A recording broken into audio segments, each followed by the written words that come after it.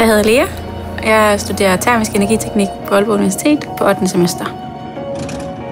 Jeg kører firehjulstrækker med min far og min søster. Når man så sidder i bilen, og man, når man faktisk skal til at køre løbet, så kan man bare mærke, at adrenalinen bygger sig op. Man sidder nærmest og ryster. Og min søster viser sådan, at vi skal afsted, og det bliver mega fedt. Det, er, det kan godt være vildt nogle gange, men det er også rigtig sjovt. Jo federe banerne er, jo federe er løbet også. Hvis man gør det rigtig fedt, og det hele det bare klapper, det er den fedeste følelse i hele verden. Aalborg Universitet var den eneste, der kunne give mig det studie, jeg gerne ville. Jeg vil rigtig gerne læse energi. Og så synes jeg, at gruppearbejdet var en fed måde at arbejde på. Det var anderledes end det, jeg havde hørt mange andre universiteter arbejde på den måde. Problembaseret læring er en vigtig del i gruppearbejdet. Det giver dig nogle helt andre kompetencer, fordi du kan gå ind og sætte dig ind i, hvad du reelt kommer til at arbejde med, når du bliver færdiguddannet. Det er meget de samme måder at kigge på problematikker på. Det synes jeg er super fed kompetence at komme ud med, når vi er færdige. Energiuddannelsen er bygget op på den måde, at de første to år, der er vi alle sammen sammen, og der får vi en bred vifte af kurser inden for mekatronik og elektricitet, og så termisk, og det er de tre retninger, vi har.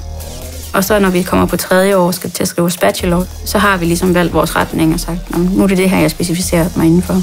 Og det er så det, man holder ved indtil man bliver færdig som enten diplom eller civilingeniør. Termisk energiteknik, som jeg er på, det er en gren af energi, der arbejder omkring flow og varmeoverførsler og forbrændinger.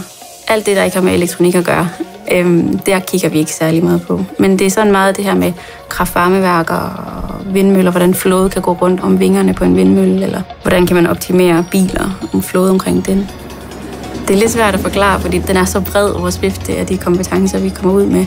Men det er meget det her med varme og overførsler, og hvordan kigger vi på måden at overføre ting og optimere de energikilder, vi har i dag. Aalborg er en, er en stor by, men, men fordi at alt det fede det er så kompakt, så ligner det, det virker som en, en lille hyggelig by alligevel. Jeg er totalt forelsket i Aalborg. Jeg vil ikke studere noget andet sted. Du skal læse energi, fordi du kan lide øh, matematikken, og du kan lide fysikken. Du vil gå ud og ændre den måde, vi forbruger vores brændstof på i dag, og forbruger vores ressourcer på jorden. Altså, vi kan gøre en forskel lige pludselig.